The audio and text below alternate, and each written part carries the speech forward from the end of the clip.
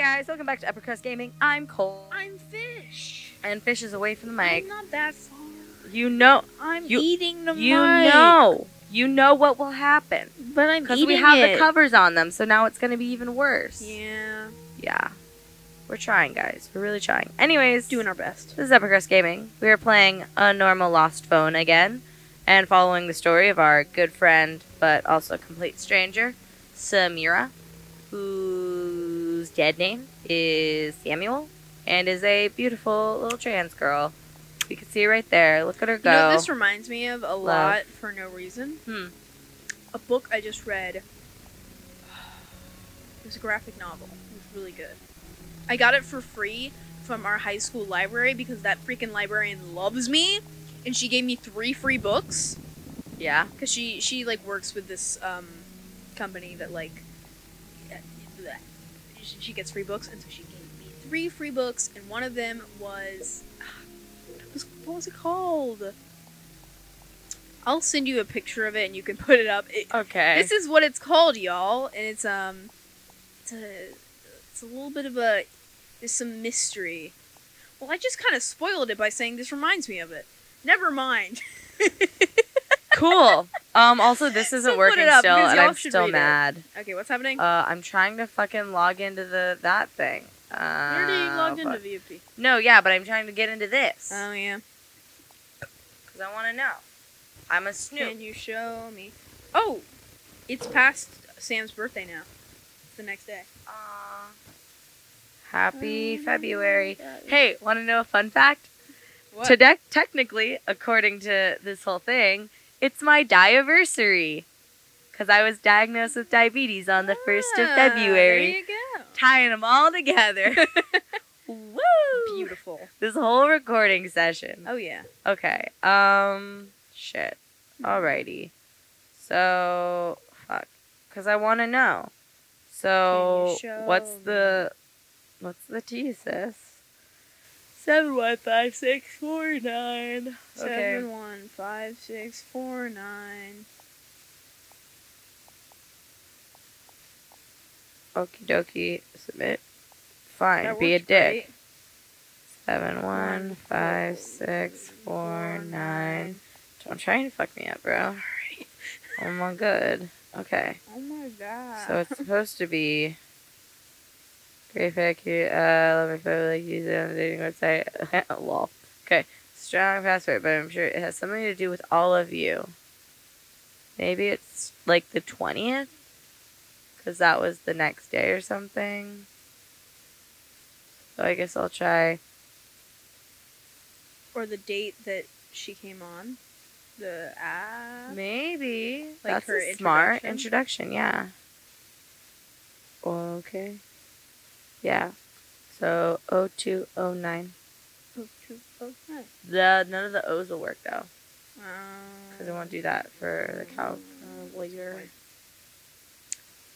Oh, four, oh, nine. Um, that's why I was thinking it was the convention. So it would be Mm. becoming a cat. Fish is scratching her face against the mic. Okay. Um. So I'll try twenty oh nine, I guess.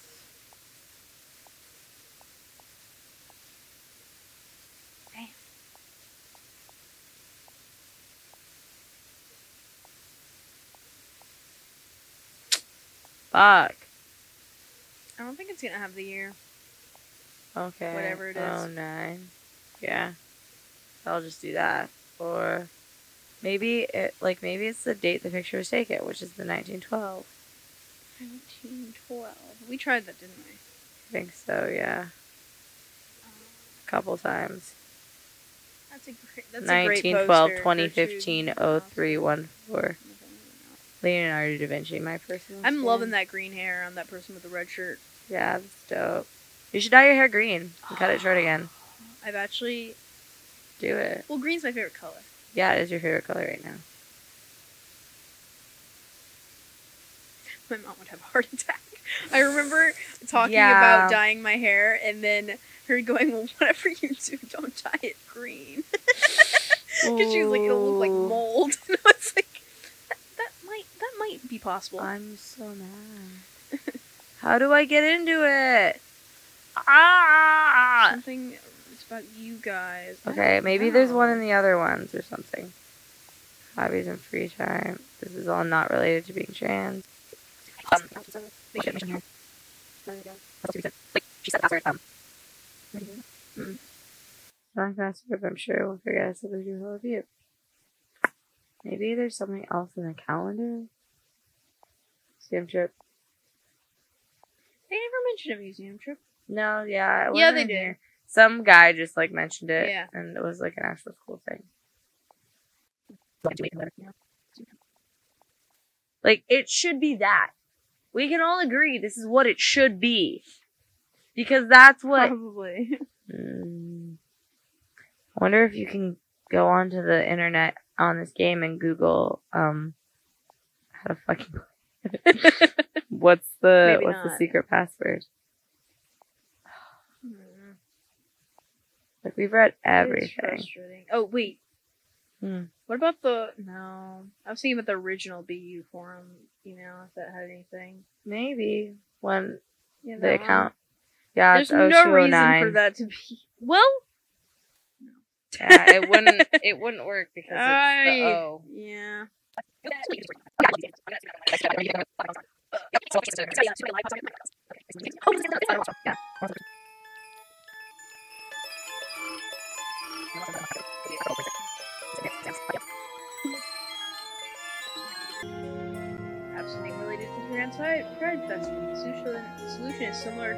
Similar to the Wi-Fi. We already cracked. It's the it's the um Oh, zip code. Oh, oh, It's the oh, zip code from the oh, place. the- I don't want. No, I paused it. We can keep playing Sam's jams. Go back to Stupid. jams. What are you cool, doing? Okay. Okay. Okay. Okay. Okay. Okay, okay, it's a okay. weather app. So yes, but we need to find where it was again. No, it was uh, something with a C. Coronia.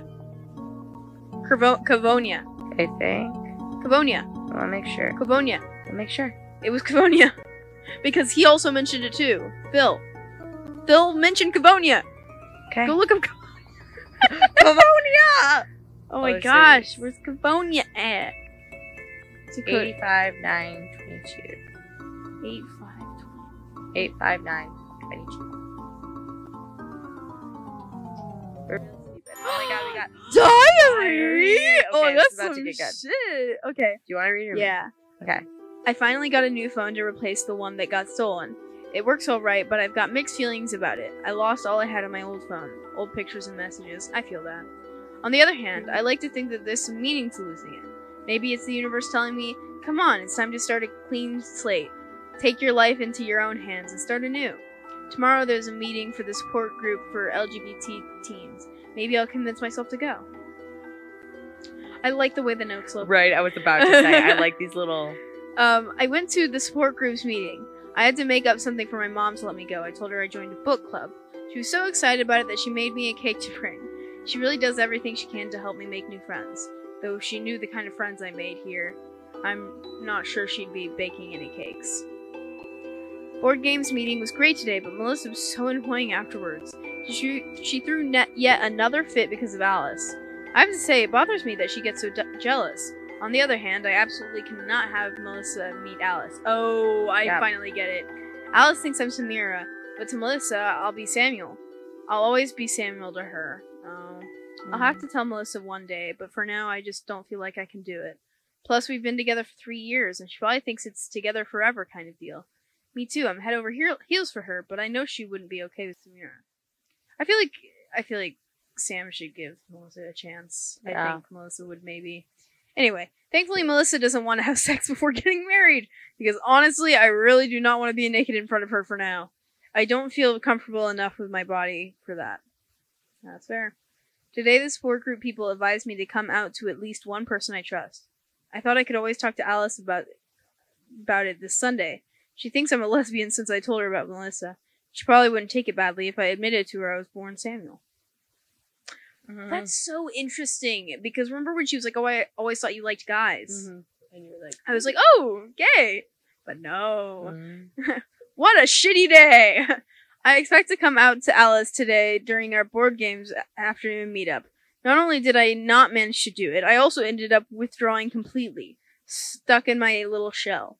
Lola, the stupid moron, told me she had to talk to me about something privately.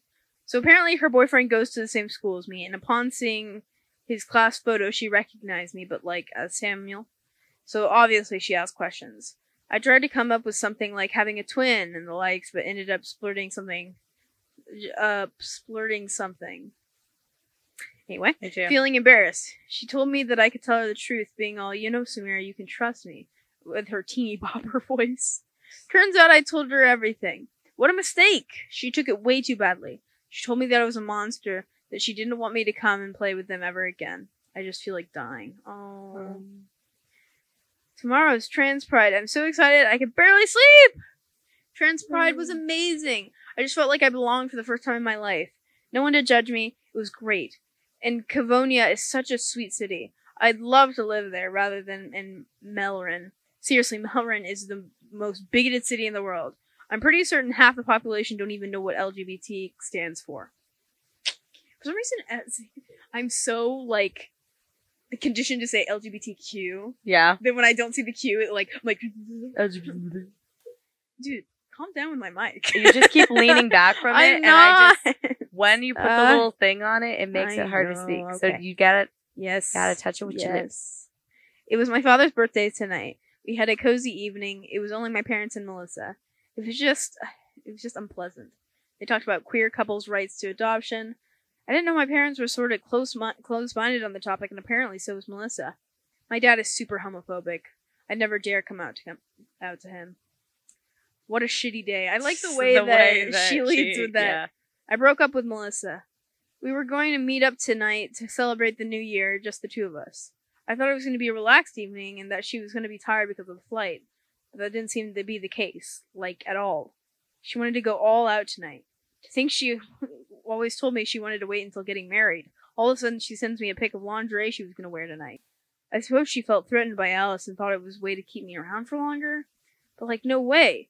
I didn't feel like I could keep lying to her, eh, but I couldn't tell her the truth either. Melissa's mom called. Apparently, she tried to commit suicide on New Year's Eve. Fuck, I can't believe it. It's my fault. I was, I'm so fucking idiotic. I am the worst.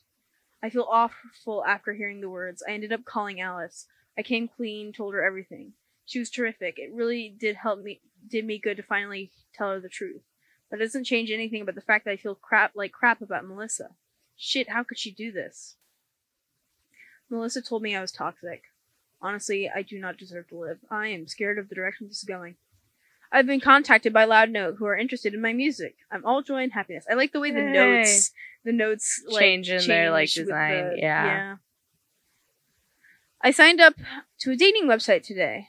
Alice convinced me it was the best way to think about something other than Melissa. I'm not really sold. For starters, the website doesn't seem at all, all open to homosexual or bisexual people. Hmm. No way to check profiles of your own g- gender. I had to create two accounts to explore different profiles. I really wonder if this was a good idea. I don't even know what I'm looking for. I've had it. I don't know how this day could have gotten any worse. First, I learned via Tio that our parents have been lying to us for years, telling us my cousin Eric had joined a cult, when actually he got he just got kicked out when his parents discovered he was gay. Trying to come out in this fucked up family is out of the question. The terrible, the second terrible news of the day is that Alice is leaving Mel- Melrin. She got, she just got in for a semester abroad her at her dream university, and she's leaving very soon. My one and only support in the shitty city is leaving. I can't even bring myself to be happy for her, even though I know I should. In two days, I'll be 18. I'm not a believer, but today I, today I prayed for something to happen. I just want somebody to tell me, don't mind the others. Erase them all from your life. Don't keep anything from the present. Leave your boy wardrobe in Melrin. Throw away your phone and leave to start anew somewhere else. There, we just passed midnight. I've been 18 for five minutes now. I don't have to rely on my parents anymore. I'm an adult. I wish I could say a brave, ind- independent adult person, but it's more like a trans adult stuck in Melrin. It seriously Just seems. It seriously seems like I stay one more day in this town and I'll do something wrong. I'm so scared. To Alice from Cavonia. Hey Alice, I'm writing from the computer room of the Cavonia LGBT Center. I just got there and I'm planning to rebuild my life there. It's a decision I kind of made on a whim, but I really couldn't stand my life in Melrin. I was suffocating there, and you were really my only support. So when you told me you were Melrin, you were leaving Melrin, I got so depressed. In truth, you're right. I attach too much importance to dates, and especially signs from fate. But I was waiting for a sign, just something. And guess what? My birthday present was a motorbike. How could I not see it as a sign? Me looking for a mm. way to leave. I said I was going for a ride, and I got away. I feel so relieved to be gone. I want to erase every trace of my old life where I couldn't recognize myself, so I threw away my phone without thinking. So, well, I can't call you. That was dumb. I'll mail you my new number, promise. On the other hand, my phone wasn't locked and anyone could find it. That really bothers me. I don't want people searching it. Those are only traces of an old life, and old me I can't even recognize anymore. Who? Don't worry, Sam. No one would go through your phone like that. That'd be That'd be so rude. Hey, Sam. I'm glad you were able to gather your courage and leave to rebuild your life. Even if I'll be very far from now on, you can still count on me when things go wrong. Don't worry about your phone. Most likely someone will find it, erase all the data, and keep the phone for themselves. After all, it's still an almost brand new phone. And if some, if it's someone with good intentions, they'll want to look around a bit to return it to its owner. When they look around, I'm sure they'll understand the reasons you left and will decide to erase all your data to erase every trace of your escape. Wow. Oh, oh, wow. Dude, this game. This game. Oh, it's. I want to. I know uh, clearly, clearly her parents are homophobic. Yeah. But I want to know their reaction. I want to know if. I mean, Because I feel like I think the reaction is unfortunately going to be like maybe it won't be. It maybe be- one can- would react better than the yeah, other. it can be different when someone you love that much is going through something like Mm. that. I hope that she finds a way to get in contact with her um cousin, Eric. Me too. Eric and Tia, for that matter, Because Tio, even Tia- Tio seemed like a little shit. Like but but he seemed like an accepting little shit. yeah, like he seemed because it was his brother. Like yeah, yeah, that was yeah. So you want to do it? I guess so. Don't always say warning. This action cannot be undone. Wow, that's a great That's- game. Thanks for playing a normal lost phone, a game by accidental queens. Me too. so yeah, this has been Wow. normal lost phone. Oh, Victoria is the sound designer. Oh my god, I wonder that's where so that name cool. came And from. She also did some of the music. This is kind of like dope. Nice. CFO Alexandra, Nikki, Yeah. Just saying names. Raphael, Translators. Nicoletta, Uh, Francois. Oliver, Francis. Adrian. Dude, Kevin? miraculous lady. oh my god, Miraculous, is that you? Thanks to all these people, share, people who share their experiences, and all the different supporters and stuff. Wow. Ule Ule backers. This is really Crowdfunding. nice. Yeah. This is dope. That is This is a very good like Pride Month game. Uh, for real Yeah. educational, Like- nice, pretty, just Yeah. in general, and very creative. Yeah, if you guys ever wanna like like I highly recommend downloading this game. I don't think it was that expensive. Um and also there is a sequel to it that I am not familiar with at all. I don't know what it is, but it's a normal lost phone Laura story or another normal normal lost phone colon Laura story. Laura. So I don't know what it's related to, Ah. but if it's also trans stuff Huh. or if it's just some kind of LGBT something or not that at all. Or yeah, But yeah, That's interesting. this But is yeah, This was a really cute game. The art was super cute. The music was super cute. The phone was really cute. and the it makes was you think wild. about how much your phone can say about you. hmm I I loved it, and I like the, how simple it was. I would love to see this kind of format with like a phone like we have. That's like, Like- yeah, And we, and considering how much random junk we have on our phone, like, like I think that's some of like she had a very clean phone, Yeah. but that was also imagine probably just to streamline really, the story. really cluttered up phone. Yeah. That'd be kind of that'd be interesting in the way that you could have like side games, um, Mm. and like DLC that you get when you update it and it gets stuff from the cloud. like that. That'd be fucking cool. I I've seen a couple of games like this. Yeah. it's like that. game. Simulacra is a similar game, but it's a horror game. But it also Mm. is using a phone. We need to play that sometimes. Most Because there's also like ambient sound that just freaks you the fuck out, and it uses a real person. Like it's not drawn images. Oh. It's fucking wild. freaky. it's freaky. Yeah. Oh, and dude, like Yeah, dude. when, we were, yeah. when we were looking at the diary and we get to the end and the email popped Yeah. up, that gave That literally gave me chills. Like I, I was like, also just in general, it's like a really like I like that it was a happy ending. Yeah, that it's not seriously. a I was sad trans so story. Scared that we had the phone because like they dropped it off a building and they were about to commit suicide. I was so scared that was that was my first guess at like the beginning. Was that that that was yeah they Yeah. died Oh because my that's a lot like that's how trans stories end a lot of the time Yeah, that you hear seriously. is not the happy endings or someone starts their life anew and is happy as themselves it's Mhm. where they commit suicide because they have a family that doesn't accept them and they and like there were parts where literally sam was like i want to die i don't deserve to be alive like Yeah. that's a real like people who are struggle. not lgbt at all like can only to like i'm not saying that they don't understand that because people experience like suicidal Yeah. depression just in general like whatever that happens for But people there is an extra level when you Yeah, you when feel like you- you are an alien in your own home. Mhm. When you feel like people in your life don't accept, like, I can speak personally. Like, I've, I'm fine. I'm here. But, and I have also dealt with that separately Mhm. from LGBT issues. But it's an extra added thing that you don't always necessarily, like, it's not a thing that people need. You don't Yeah. need to feel that extra level of depression and, like, being Lack like, people do not accept me. People do not love me. I don't deserve to be here. Mhm. And like, if at any point any of you guys ever feel like that, like, please don't Yeah. talk to somebody because they're like, Sam found Alice and had that person that was like, no, Yeah.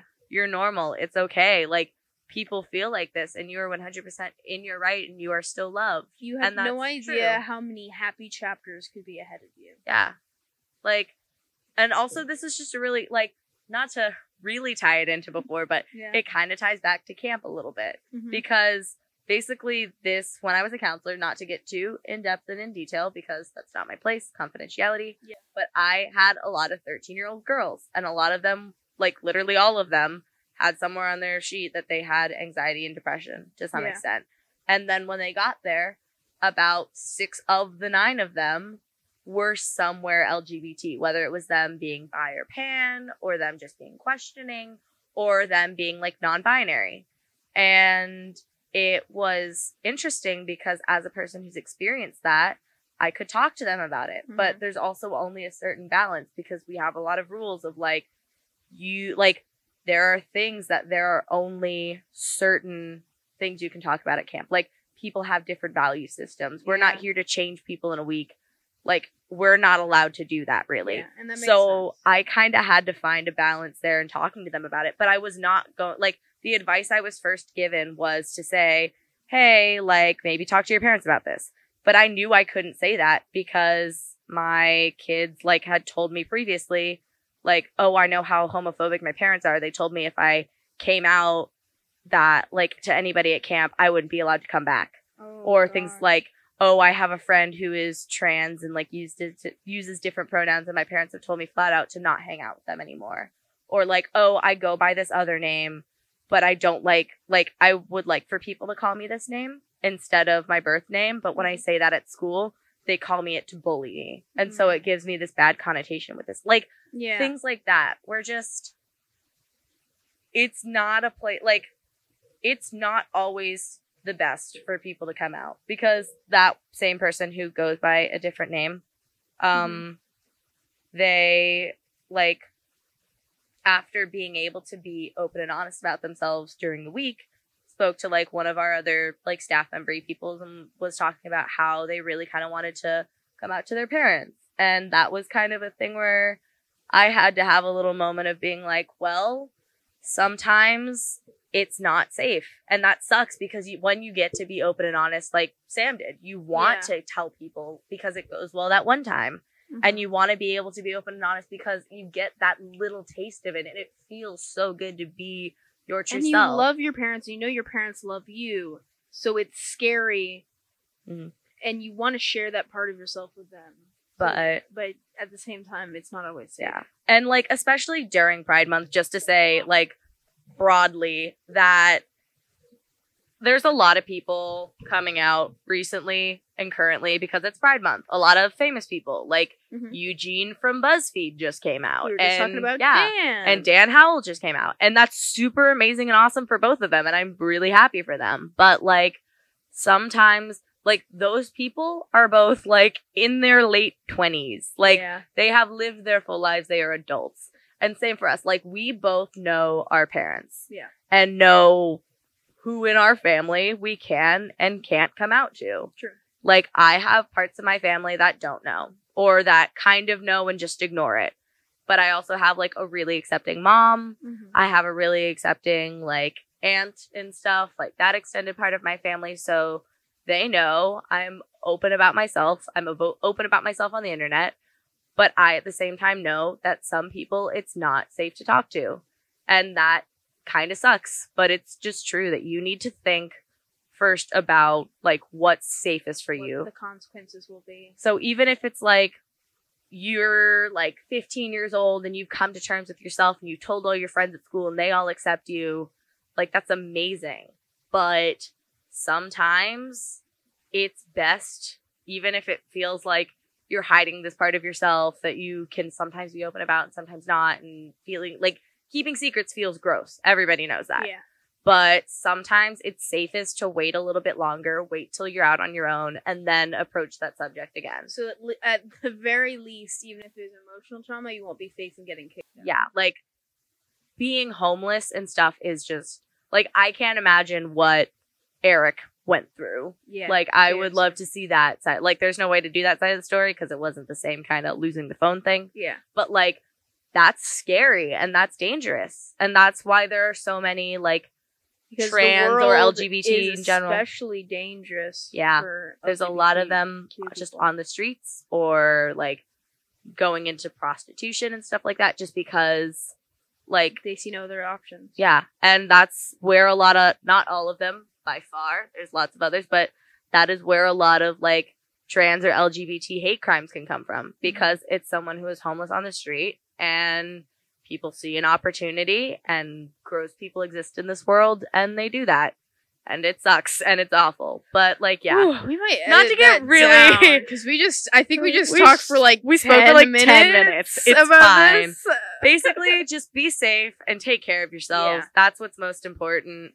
But also happy Pride Month. Yeah, And for those of you who are out and proud of yourselves, whether Which you, you should are, be. yes, I am so happy for you wherever you are in your journeys. Whether you're an amazing straight ally, you're an amazing LGB plus person, or you're anywhere on the Even trans if you're spectrum. a homophobe, you know, good for you. you know, like be you, sis.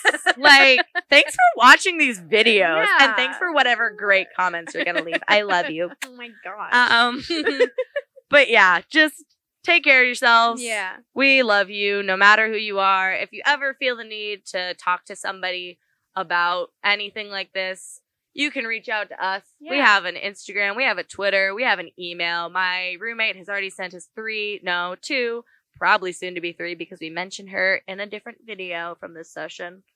Hi, Katie. But she sent us a bunch of emails, so you guys can too. yeah. We love to talk about this stuff. And just know that you're loved because we love you. yeah. Every single name that we see subscribes, we'll scream and we'll text each other. And we don't care who you are on Yeah. the outside because we, we know you're a good if your person. on name is completely Russian and we're like, we're like, this a bot. "Are like, but we love our bots. Like, yes. This Oh, can I can I just mention that there Yeah. is a name right there that says Sky Willie? William Sky Sky Willie. Burton Oh yeah. Or Vince And on that note, or Yuligyoki, Yolanda Kamcho, Yecha, spoof, spoof. I love you, Spoof. Spoof. Okay, and on that note, Yep. this has been Upper Crust Gaming. I'm Cole. I'm Fish. And we will see you guys in the next one. Yeah. Love you. Love y'all. Bye.